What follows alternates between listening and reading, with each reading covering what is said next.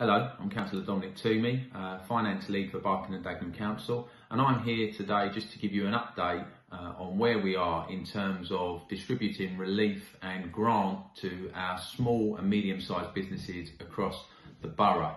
Um, I've got some figures to update you with.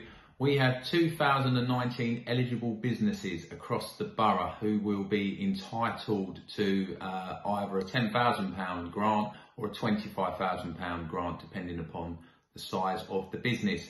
That will come to a total of 25 million pounds that we will uh, distribute. Um, and we're in the process, the team are in the process of dealing with this as I speak and have been doing for the last 10 days. You can imagine it's quite a big operation, contacting so many businesses when in fact we don't have bank details for a vast majority of those.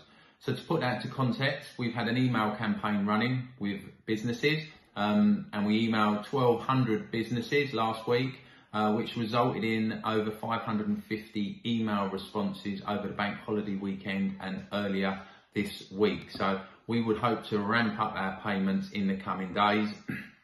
to put it into context, so far uh, we have paid out six million pounds, so roughly a quarter of the total that we'll need to pay out. Um, and as I say, they were for businesses where we had bank details uh, because that is the most efficient and speedy way to do this. So where we have BACS details, uh, we have made the payments. That takes between three to five working days.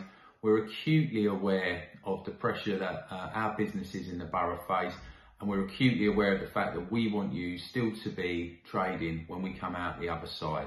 So if you haven't had any correspondence from us at all, please contact either myself directly or the business rates team on um, the website, and they will you know, progress your claim as quickly as they possibly can.